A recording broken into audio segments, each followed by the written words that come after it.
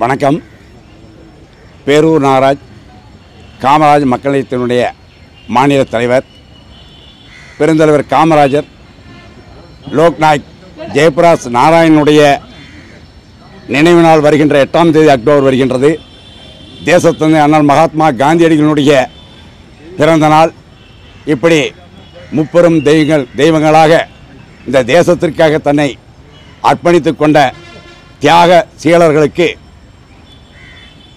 இங்கே மலரஞ்சலி செலுத்த வருகை முன்னாள் சட்டமன்ற உறுப்பினர் தியாகி பொன்னப்ப நாடாருடைய திருக்குமாரர் பொன் விஜயராகவன் அவர்களே அன்பிற்கினிய முன்னாள் சட்டமன்ற உறுப்பினர் அண்ணன் மா சின்னராஜன் அவர்களே இங்கே வருகை தமிழ் திரு இந்து மக்களினுடைய எழுச்சி நாயகன் அர்ஜுன் சம்பத் அவர்களே மற்றும் திரளாக வருகை காமராஜனுடைய தொண்டர்களே உங்கள் அனைவருக்கும் என்னுடைய நன்றியை முதலில் தெரிவித்துக் கொள்கின்றேன்.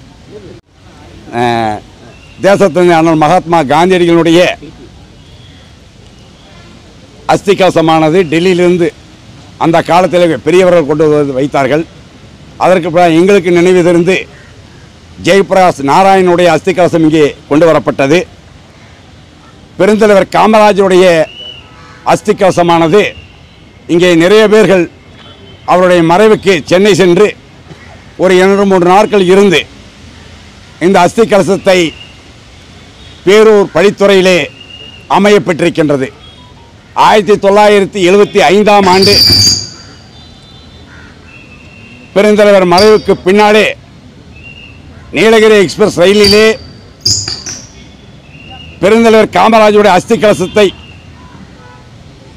முன்னாள் சட்டமன்ற உறுப்பினர் மரியாதைக்குரிய வி. கே. லட்சுமணன் அவர்களும் தியாகச்செம்மல் முன்னாள் சட்டமன்ற உறுப்பினர் எல்லமநாயுடு அவர்களும் முன்னாள் செயலாளர் வக்கீல் குப்புசாமி அவர்களும் மற்றும் இருக்கின்ற தலைவர்களோடு நானும் அந்த அஸ்திகலத்தினுடைய வண்டியிலே நானும் ராமசெட்டிபாளையம் சுந்தரமாம் அவர்களும் அந்த அஸ்தி கலத்தை எடுத்துக்கொண்டு வருகின்ற ஒரு பாக்கியம் எங்களுக்கு கிடைத்தது. இந்த விழாவானது ஆயிரத்தி தொள்ளாயிரத்தி எழுபத்தி ஐந்தாம் ஆண்டிலிருந்து கொண்டாடி கொண்டிருக்கிறோம் காமராஜ் தொண்டர்கள்.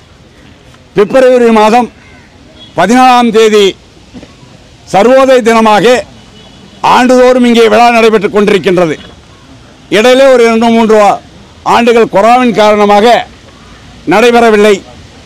அதற்கு பின்னாலே இந்த பகுதியிலே கேப்பாரற்ற இந்த அஸ்தி கலசங்கள் இருந்தன.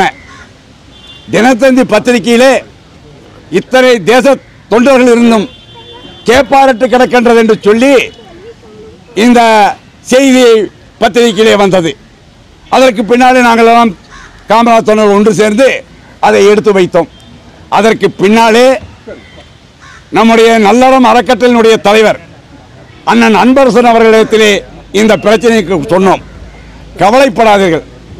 அதை அற்புதமாக நான் செய்து வருகின்றேன் என்று சொல்லி இந்த மண்டபத்தை அவருடைய நல்லறம் அறக்கட்டளையின் சார்பாக செய்து கொடுத்திருக்கின்றார்.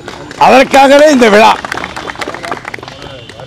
அதை தவிர தமிழ்நாடு முழுவதும் இருந்து தர்ப்பணம் கொடுப்பதற்காக வருகை வருகின்ற ஆண்டோர் பெருமக்களுக்கு தர்ப்பணம் செய்கின்ற இத்தனை மண்டபங்களையும் கட்டி கொடுத்தது நல்லறம் அறக்கட்டளையின் சார்பாக அண்ணன் எஸ்பி அன்பரசன் அவர்கள். ஒரு மனிதன் பிறக்கின்றான் என்று சொன்னால் தனக்கு வசதி ஏற்பட்டது என்று சொன்னால் பொதுமக்களுக்கு ஏதாவது வகையிலே நன்மை பெறுகின்ற வகையிலே அமைய வேண்டும். இது நூறாண்டு காலம் அல்ல இந்த மண் இருக்கின்ற வரை நொய்யல் இருக்கின்ற வரை இந்த மண்டபம் இருக்கும் உங்களுடைய நல்லறம் அறக்கட்டளையுடைய அன்பர்களுடைய பெயரும் இருக்கும் என்று இந்த காமராஜ் விழாவிலே தெரிவித்துக் கொள்ள நான் கடமைப்பட்டிருக்கின்றேன். ஈழத்தமிழ் பெரிய மண்டபம் கட்ட முடியாதுங்க. என்ன காரணம்னா காமராஜருடைய தொண்டர்கள் பல பகுதியில் இருக்கிறாங்க. காங்கிரஸில் இருக்கிறாங்க ஜனதாதளத்தில் இருக்காங்க ஐக்கிய ஜனதாதளத்தில் இருக்காங்க மதச்சார்பற்ற ஜனதாதளம் என்னுடைய ஜனதா இப்படி ஏடிஎம்கே இல்லைங்க. ஆ, சரிங்க. அண்ணா அண்ணா திமுகவுக்கு இந்த தேசியவாதிகளுக்கு அன்னையிலிருந்து ஒரு ஒற்றுமை. இன்னைக்கு நேத்துக்கல்ல. எம்ஜிஆர் காலத்திலிருந்து அண்ணா திமுக நம்மளுக்கு என்னைக்குமே பிரச்சனை இல்லை. ஏன்னா அன்னைக்கும் கூட புரட்சி தலைவர் எம்ஜிஆர் அவர்கள் சொன்னார் மீட்டிங்கில் இந்த ராமச்சந்திரனுக்கு ஒரு லட்சம் என்று கிடையாது ரெண்டு லட்சம் என்று சொல்லி புரட்சி தலைவர் எம்ஜிஆர் அவர்கள் சொன்னார்கள். மற்றவங்களாம் இல்லை. அவங்க தேசபக்தி உள்ளவங்க. தேசபக்தி இருக்கிறதா அண்ணா திமுக அந்த தொண்டர்களுடைய உறுதுணையோடு இன்னைக்கு இது நடந்திருக்குதுன்னா எத்தனை கோடின்னு எனக்கு தெரியாது. வெளியில் பதினஞ்சு கோடின்னு சொன்னாங்க. அதை விட